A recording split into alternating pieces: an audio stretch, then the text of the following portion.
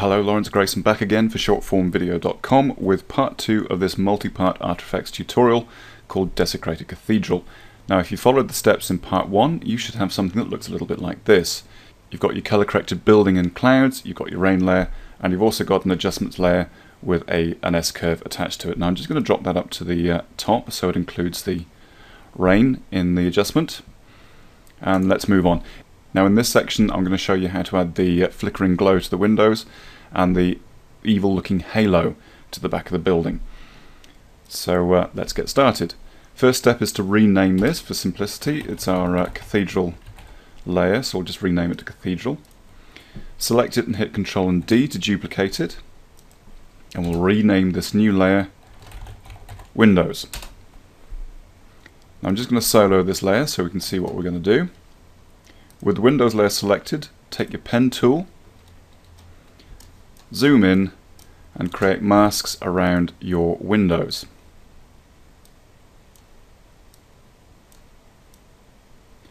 Now this is going to be a bit of a rush job, but uh, it's probably worth taking a little bit of time.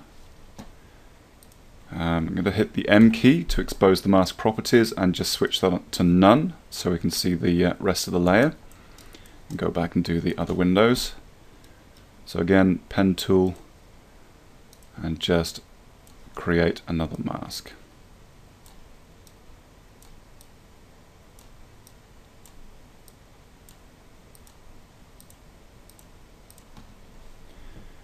Hide that one and move on to the final one.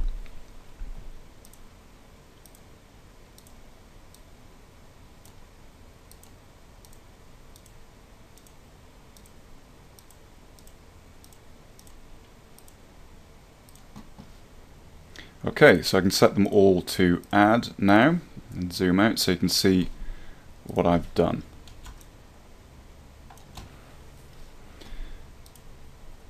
Okay, now because we've duplicated the uh, cathedral layer, it's still got the CC toner value effect on it.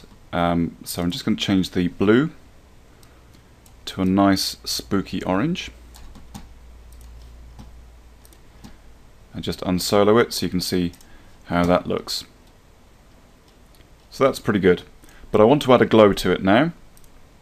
So uh, take your Windows layer, hit Control and D again to duplicate the layer and the masks that we've just created. And we'll just rename it to Candle Light.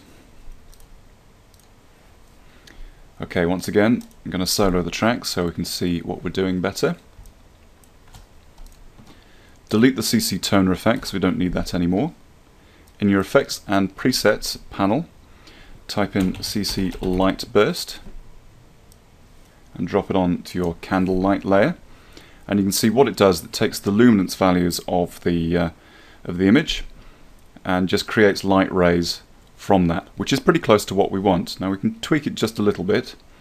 If you go to the uh, center value and grab the control point, you can drop that anywhere you like just reflect how the light is pointing out of the building. I think the best result fairly close here. So that's around the 484 by 293 mark. Now we're going to swap the uh, burst mode from fade to center and we're going to increase the ray length to about 70.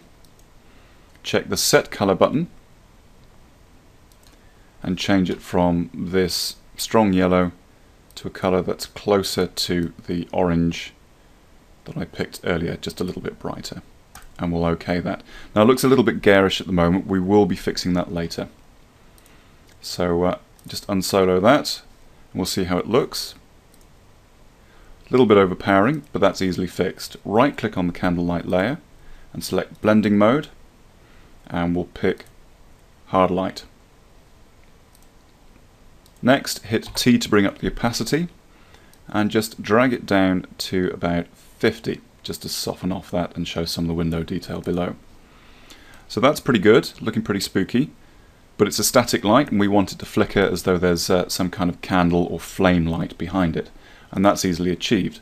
So with the candle light layer selected, twirl down the effects properties until you get the CC light burst, hold down Alt and click on the intensity stopwatch.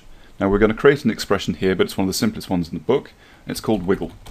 So type in wiggle, open bracket, 10, comma, 100, and close bracket. And all that does is it creates a random number 10 times a second from a range of 100. In real terms, if I solo that, it takes the intensity, and as you can see here, it just randomizes it and gives it that nice flickering light that we're after. Okay, back to the main composition. That's all looking good. So before I go any further, what I'm going to do is just select the candlelight and the windows layers and just parent them to the cathedral layer because I may be moving the cathedral layer around later on.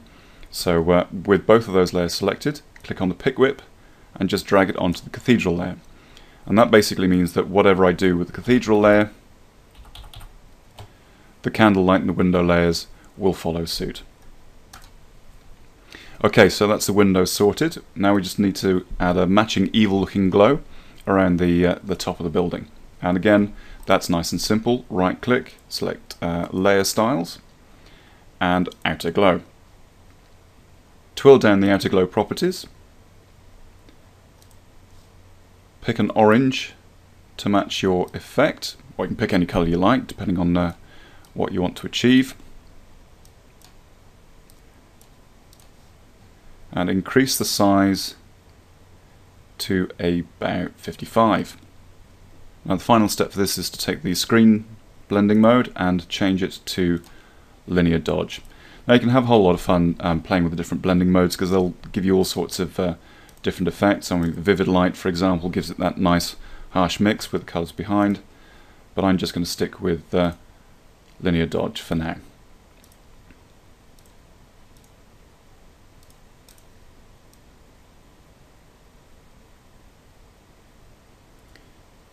Okay, it's all looking good.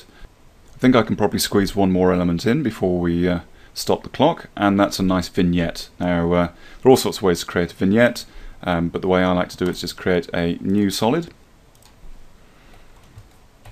Call it vignette. Make it black. And OK that. With the vignette layer selected, grab the ellipse tool Drag it until it fills the entire screen to create a mask. Swap the mask value from add to subtract. Twill down the properties. Set the feather to something nice and high. I'll make it 130.